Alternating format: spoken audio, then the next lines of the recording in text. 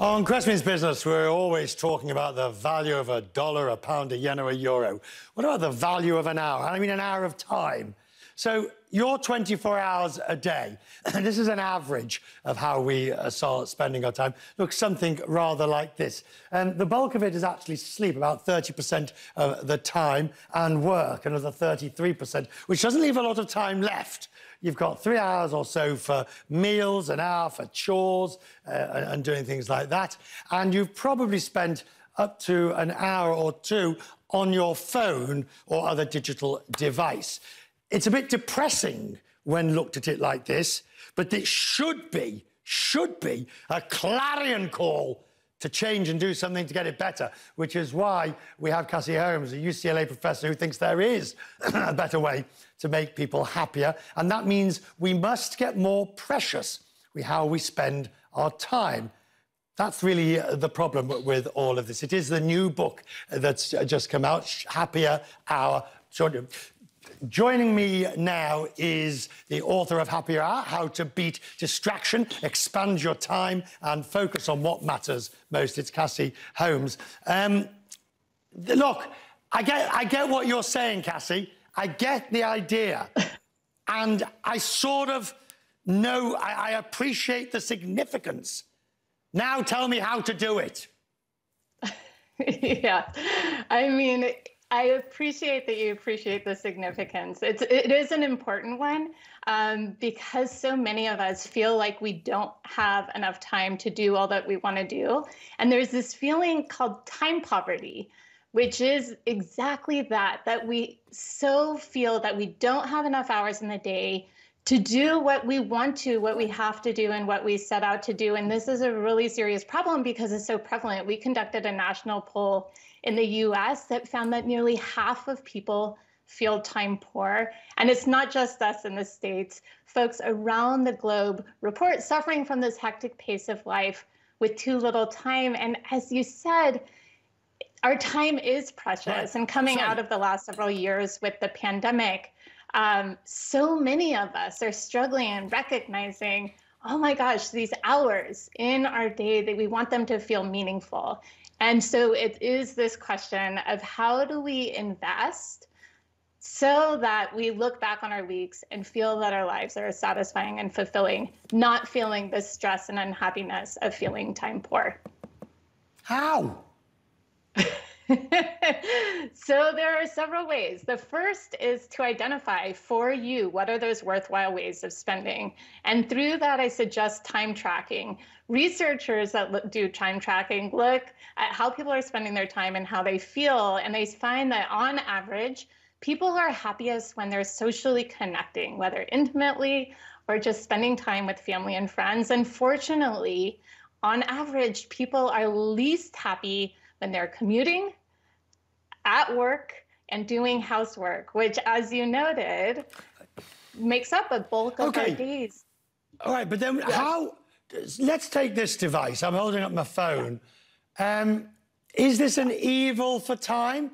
Is this a time killer? Is it a, a nasty in the sense, even if I'm texting somebody, then yeah. I'm not necessarily communicating. Where do you put digital devices in the time cons consortium? Yeah, and this is with the um, time tracking, it picks up as being not a positive usage of time. I mean, our, our phones are so helpful. It allows us to get things done, to connect with folks. But what it also does is it distracts us. It pulls us out of the moment. And research shows that we are distracted almost half the time, 47% right. of the time. We're not focused on what we're doing.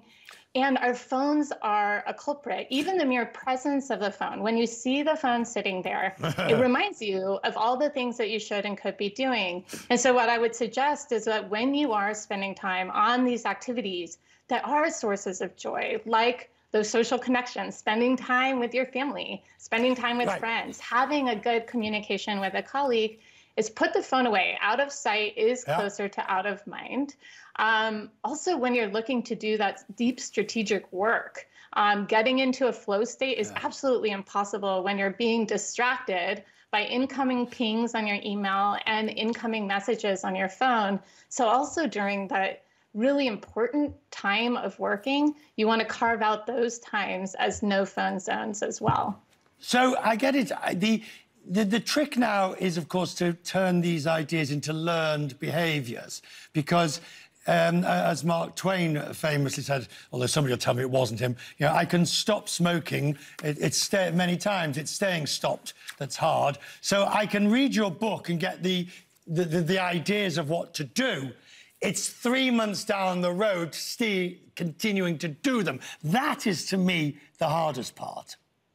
Yeah, well, so there is that first step of designing, scheduling your schedule or designing your schedule, your week, so that it is purposeful, that it's intentional. I mean, honestly, half of the the half of the way there towards happiness is simply being intentional. And with that intentionality, you are likely to minimize the amount of time you spend wasting on your phone, for instance, and increase the amount of time that you're spending on these activities that really matter. That social connection, that work exercise is something that is so important to do because as a direct mood booster, it helps offset anxiety and depression. Um, yet it's something that we, when we feel busy, we don't make the time for. But by exercising, it increases a sense of self esteem and self efficacy. And with that, it lessens your sense of limitation with the resources you have, namely your time. Um, so it's it is now thinking about yeah. three months on, as you said. Um, once you experience the benefits of it, um, then you see that it is easier to do um, these behaviors. Another thing that you can do to just I, I, remind you I, is re- recognize how little time is left for those things that really do matter to you. Oh, Count- oh. yeah. Oh, that, uh, how little time is left. How right you are. We are out of time. Uh, I apologise. Um, but uh, I know what you mean. We'll talk again mid-year if we may, ma'am, to see if to see if I've actually improved. I won't have done. Oh, well, no, no, that's defeatist Quest. That's being defeated before we've even got started. Thank you. I appreciate your time.